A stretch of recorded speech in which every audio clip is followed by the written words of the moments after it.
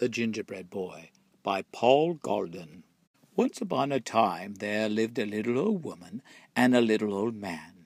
They had no boys or girls of their own, so they lived all by themselves in a little old house. One day the little old woman was baking gingerbread. I will make a little gingerbread boy, she said. So she rolled the dough out flat and cut it into shapes of a little boy. She made him two good sized feet.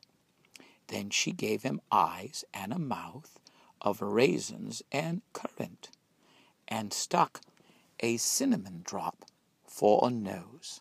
She put a row of raisins down in front of his jacket for buttons. There, she said, now you'll have a little gingerbread boy of your own. She put him in a pan and popped him into the oven and closed the door. Then she went back to work, sweeping, cleaning, and cleaning and sweeping, and forgot all about the little gingerbread boy.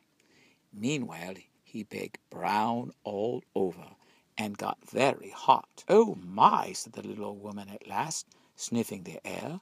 The gingerbread boy is burning. She ran to the oven and opened the door, and up jumped the gingerbread boy. He hopped down onto the floor and ran across the kitchen, out the door, across the garden, through the gate, and down the road as fast as his gingerbread legs could carry him. The little old woman and the little old man ran after him, shouting, Stop, stop, little gingerbread boy! The gingerbread boy looked back and laughed and called out, Run, run, run as fast as you can. You can't catch me. I'm the gingerbread man. I am, I am and they couldn't catch him. So the gingerbread boy ran on and on, and soon he came to a cow. Hmm, hmm, sniffed the cow. You smell good. Stop, little gingerbread boy, I would like to eat you. But the little gingerbread boy laughed and said, I've ran away from the little old woman. I've ran away from the little old man. I can run away from you. I can, I can. So the cow ran after him, but she couldn't catch him. The little gingerbread boy ran on and on, and soon he came to a horse. Please stop, little gingerbread boy, said the horse. You look very good to eat. But the gingerbread boy called out, I ran away from the little old woman. I ran away from the little old man. I ran away from the cow. I can run away from you. I can. So the horse ran after him but he couldn't catch him. By and by the little gingerbread boy came to a barn where some men were threshing wheat. The threshers saw the little gingerbread boy and called, Don't run so fast, little gingerbread boy.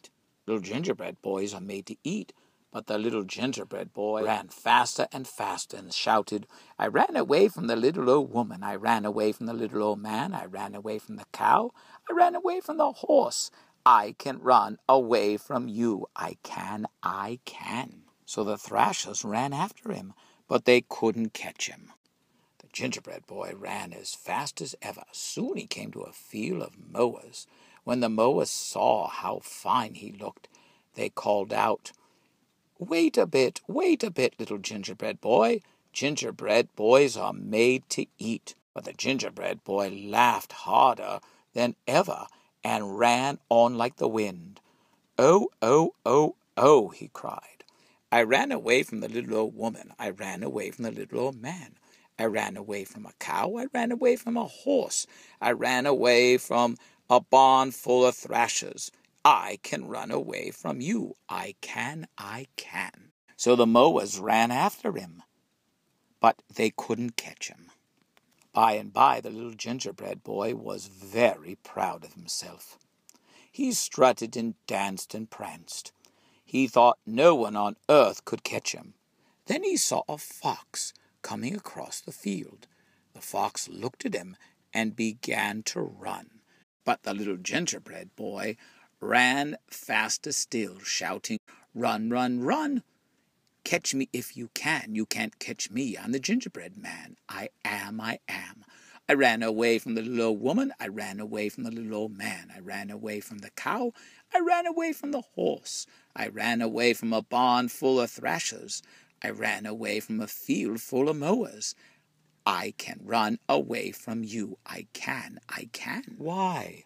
said the fox politely. I wouldn't catch you if I could. Just then the little gingerbread boy came to a wide river. He dared not to jump in the river, for he would crumble into pieces if he did. He looked behind him. The cow, the horse, and all the people were still following and getting closer. He had to cross the river, or they would catch him. The fox saw this and said, Jump on my tail, and I will take you across. So the gingerbread boy jumped onto the fox's tail, and the fox jumped into the river. When they were out in the river, the fox said, Little gingerbread boy, I think you had better get on my back, or you may fall off. So the gingerbread boy jumped on the fox's back. After swimming a little farther, the fox said, The water is deep. You may get wet where you are. Jump on my shoulders.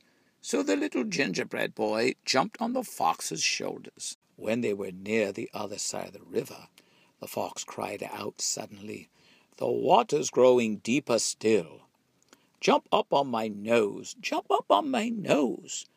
So the little gingerbread boy jumped on the fox's nose. The fox sprang ashore and threw back his head. Snip, half of the gingerbread boy was gone. Snip, snap, he was three quarters gone. Snip, snap, snip.